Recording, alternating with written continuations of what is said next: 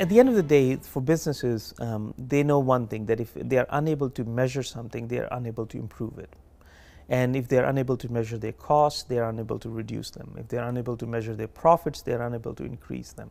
So the first thing a company has to do is to start start recording information, start capturing data um, data about costs, data about the, and then differentiated by um, labor costs and material costs, um, the cost to how much it costs to sell one product and the total cost, and then you look at the revenue. Uh, where is your revenue coming from? Is your 80% of your revenue coming from 20% of your customers, or is it the other way around?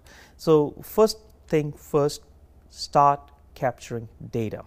Once you have data, then you can apply algorithms and analytics to it. So the first thing to do would be to capture data. If you're not capturing it, start capturing it. If you're capturing it, archive it. Do not overwrite on your old data thinking you don't need it anymore. Data never gets old. Data is always relevant, even if it's 100 years old, 200 years old, it is relevant to you and your firm and, and your success. So keep data, capture it, archive it, make sure nothing goes to waste, make sure there's a consistency. So someone 20 years later trying to understand that data should be able to do so. So have proper documentation, do it now, put the best practices for data archiving in place the moment you start a business. And if you're already in business and you haven't done it, do it now. Start measuring things. Too many companies haven't measured things properly for a decade and then they decide they want data science data science and inside a company is only going to be as valuable as the data collected. Garbage in, garbage out is a rule in any sort of analysis.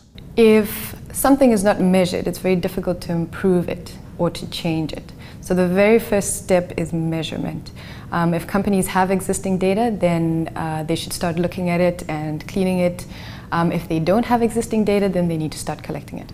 I think to look for a team uh, who love to uh, work as a data scientist. I think that the first step is to have employees that that they are interested on data science because if you don't have interest in your company, you will not have uh, like engagement. Companies should remember that it's key to have a team, so it's not one data scientist, but a team of them that each of them have strengths in different areas of data science.